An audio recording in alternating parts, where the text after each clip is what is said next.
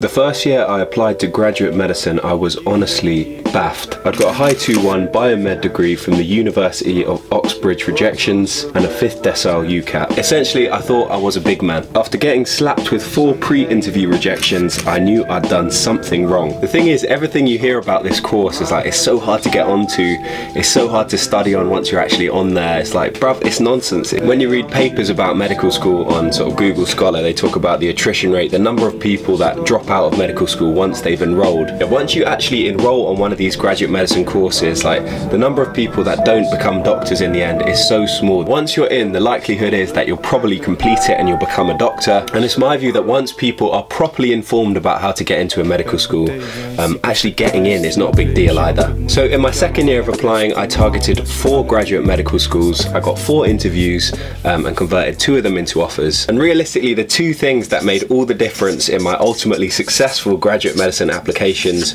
were UCAT prep and interview prep. So UCAT prep, so this process literally bought me four interviews. If there's a goal from the initial application stage is to get as many interviews as possible to give yourself the best chance. So personally for the UCAT, I did about four months of revision, a tiny bit each day.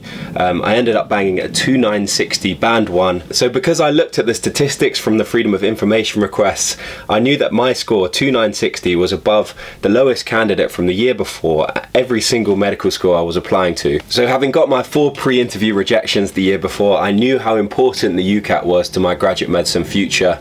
And literally, once they gave me my printout with my score on it, I knew that was probably going to be four interviews. And then I knew statistically my chances of getting an offer off the back of one of those interviews was way higher. So the question is, how should you prepare for the UCAT so you can give yourself the best chance? Well, because I flopped the UCAT in the first year that I took it and then obviously did quite well the second year, I feel like I'm quite well placed to tell you um, of the different strategies that I that I used from first year to second year and what worked for me personally. So the first year I did two weeks of prep. I bought this textbook um, get into medical school yeah 1250 questions um, yeah, I mean, there's probably some good information in there, but that didn't work for me in the slightest. When I got to that Pearson VUE Test Centre, I was like, running out of time on every single section.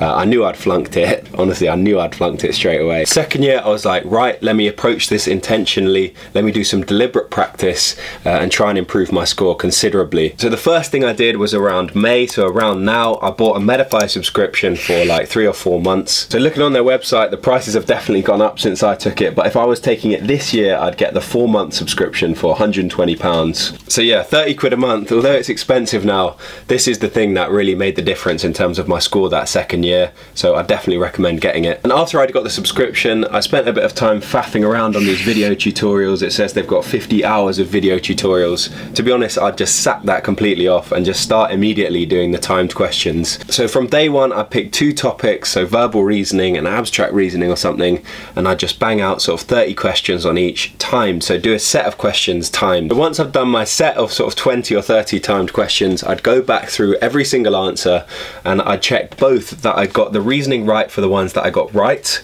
and you know, why I got the reasoning wrong for the ones that I put wrong. So I'd end up going back through every single question that I'd taken, created a tab in my OneNote entitled UCAT wrongs or wrong answers from the UCAT. And for all the questions that I got the reasoning incorrect, I'd take a screenshot of that question plus the answer, I'd drag it across to that OneNote tab. Through this process, I'm creating a bank of questions that I'm specifically struggling with, um, and thereby I'm sort of honing in on my weaknesses. Every now and then I'd review that set of questions that I'd created um, and eventually you just stop getting those types of questions wrong um, and your score just improves and improves. I think it's really important that you start doing timed questions as soon as possible, as soon as you get the question banks. This is going to start building your intuition with regards to timing and essentially yeah, just work through as many questions as you can. Just I just banged out the whole question bank when I was revising like for abstract reasoning, I went through the whole question bank twice. It was quite low stress doing abstract reasoning puzzles. Like, there's only a certain number of patterns out there, and if you've seen all the ones on Medify, like, go through this Medify question bank, you're looking out for sort of prime number sequences, square number sequences. They always used to catch me out. So when I got into the actual exam, I was like, Wow, these are so big. A lot of people have messaged me off the back of my first UCAT video saying that that really worked for them and it dragged their score up. And for me personally, yeah, I got 860 in that section.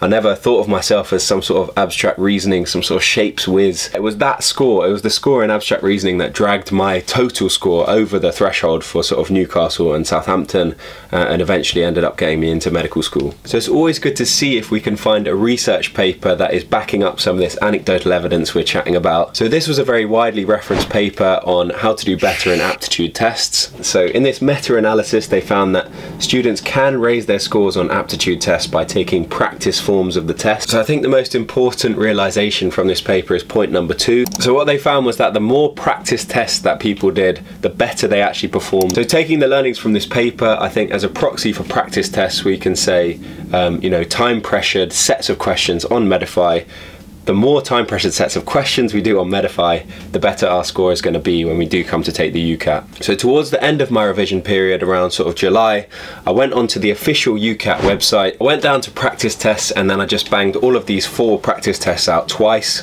but yeah, this time I went a bit more freaky with it. So um, So I'm always of the view that if you're preparing for a test, you should try and simulate the conditions that you're going to be under um, as closely as possible. So they have those sort of big ass uh, Windows computers with the external keyboard, the beat up mouse. You know, there's a Donny next to you coughing, he's got a cold, he's sniffing in your ear canal um, while you're trying to take this test. These are the kind of things that can throw you off if you're not prepared for them in the actual exam. And obviously, once again, once I'd finished all these questions, I'd go back through every single one and check that I'd got the reasoning right for, for that particular question if I got it wrong, make a note of it in my sort of wrong answers section. So that's effectively how I prepared for the UCAT. The only thing left to do is to go in there and take it um, and not get thrown off by the sort of pressure of the environment. There's a few things that helped me. Um, I made a video about it no one's watched it, but I honestly think it's so good.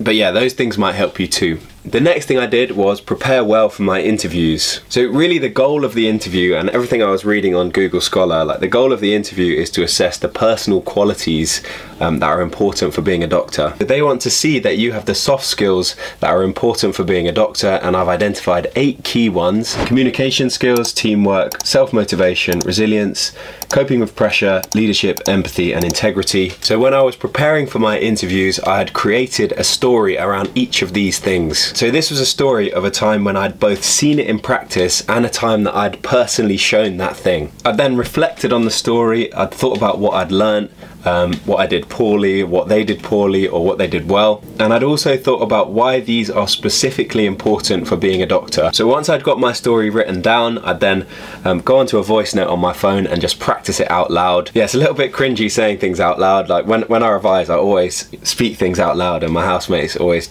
just give me heat for it for some reason. So particularly for interviews, what we want to try and do is simulate their environment and simulate the pressure that we're going to be under. So we're going to have to say these out loud at some point. I feel like a voice note is, is a really good way of simulating the pressure. I've actually just written a small guide that goes through these eight key personality traits in a bit more detail and goes through a specific template that um, will hopefully help you create sort of compelling and slick stories for your interviews. Yeah, although it's not interview season yet and people are probably just starting to think about applying for sort of 2023, 2024 grad med, it definitely pays to start early with these things and start constructing your stories around work experiences that you're having sort of now or in the next few months so that stories are more organic, they're more genuine, um, and you're not just coming up with them on the fly the day before. I sat on the panel last year and interviewed some people for grad med and you can tell who has prepared well and who's sort of making things up on the fly. So aside from this bit of preparation, the other thing to do is get solid on your why medicine and why this particular uni. There were sort of three things that I hit in my preparation. So the first thing was I thought of something personal to me about the city that the university was in. So Newcastle, for example, uh, my granddad grew up there.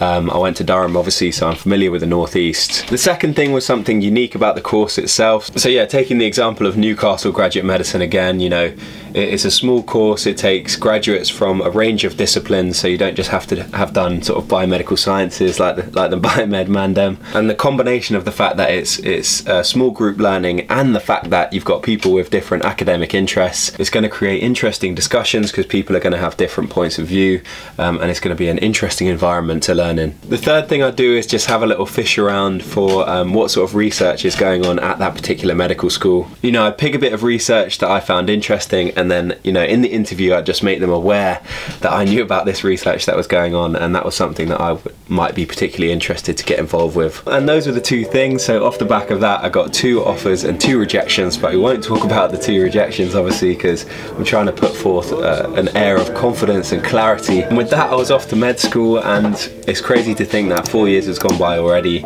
um, and the next stage is activated where just trying to enjoy life and become a competent, happy, um, healthy adult, I guess, um, and have a fulfilled career and life. So to sum up what I've said, if I was to boil graduate medicine success down to two things, it would be if you bang the UCAT and apply strategically, you can win the maximum number of interviews possible, four out of four, which has got to be the ultimate goal at the initial stage. Then prepare thoroughly and intensely for your interviews creating stories around the personality traits. You need to anticipate uni and course specific questions and crucially practice speaking these out loud. And that is it. Subscribe to get me to 1000 subscribers and I'll see you in the next one.